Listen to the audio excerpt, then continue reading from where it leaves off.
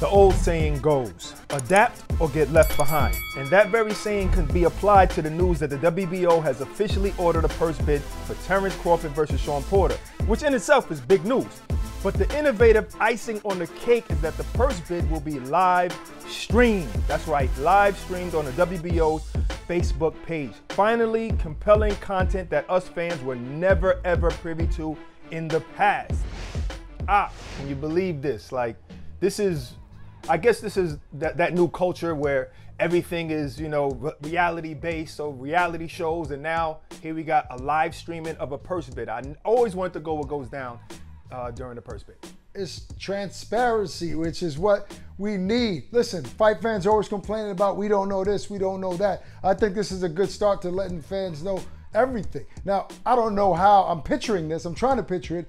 I, I don't know how the scenario is going to go down, or are they going to be uh, all of the I guess the entities that want to bid on this is there going to be a little video of Eddie Hearn using him as an example. If he were to bid or, or, the networks the guy from Triller is he going to be in another little box you know so the face uh, Facebook people can see and, and shouting out numbers I'm going to bid this I'm going to bid that. What what does that entail? What does that actually mean being live on Facebook? That's what I want to know but if it's something that we can actually see somewhat of an auction for this fight live I think that's epic Oh, absolutely. It's epic. It's new. Like I said, it's innovative. But I've always been told that you get the bid and then that's it. You can't change your bid. So you don't know what the other guys are bidding. It's not like you can hear the other guy's bid like at a regular auction. Uh, oh. 40, uh, I hear 30. It's not like that. So where's the excitement in that? you know, so I'm really wondering what is this going to look like? Now listen, if everybody but the people bidding can see the actual bid, that might be exciting. If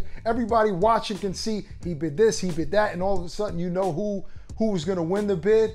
But there has to be something. Uh, there has to be an entertainment factor uh, for the viewers. If not, what's the point in having it live on Facebook if nobody's really going to know anything? So, oh, you're just trying to get Akin Barak to host it. That's what you're trying to do, right? Yes, I mean, of course, we need to get paid, man. You know what it is. We're making minimum wage here, so we need to create streams of, uh, of revenue elsewhere. So let us host it. We'll talk to the Facebook fans. We'll let them know what's going on. We'll bring some excitement to it. We might even put a little bid in. You know, I got a couple dollars. Yeah, I, I, could I could match your, your couple dollars, man. See what we got, man. Because I know, God knows, I want to see that damn fight. so I hope somebody wins the bid and it actually happens. Because we all know what happened with the last lightweight showdown that Triller placed a big bid on. That fight still hasn't happened. We don't not even yet, know if yet. it's going to happen.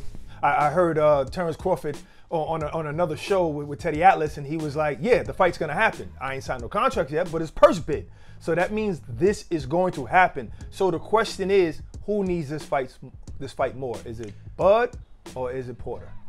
Uh, you know, that's a tough question, Barak. But if I had to answer it, I probably would say Bud Crawford only because he's the one guy that hasn't faced any guy from the PBC side. Even though, in my opinion, Bud is one of the best fighters in the world, I have him at number two still he still, to some degree, has to prove something to a lot of fight fans in the welterweight division. Not saying that he's not going to prove the, prove it and, and, pass with flying colors, but Shawn has been in there with Errol Spence. Shawn has been in there with Keith Thurman. Shawn has been in there with Danny Garcia. Shawn has been in there with Ugas.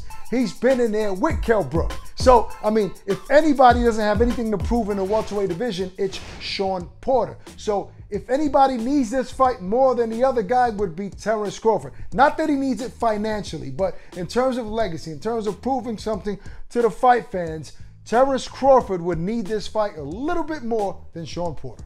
Very well said. Round of applause for that because that is totally how I feel. Shawn Porter is the only welterweight that has fought every other top welterweight, excluding Manny Pacquiao. So in reality, he can retire. he can retire. If he's not going to move up to one, 154, then he needs to just retire because he's already proved himself. No, he has, he's already proven his greatness already. He even had a close fight with the guy who's at the top of that division, and that's Errol Spence.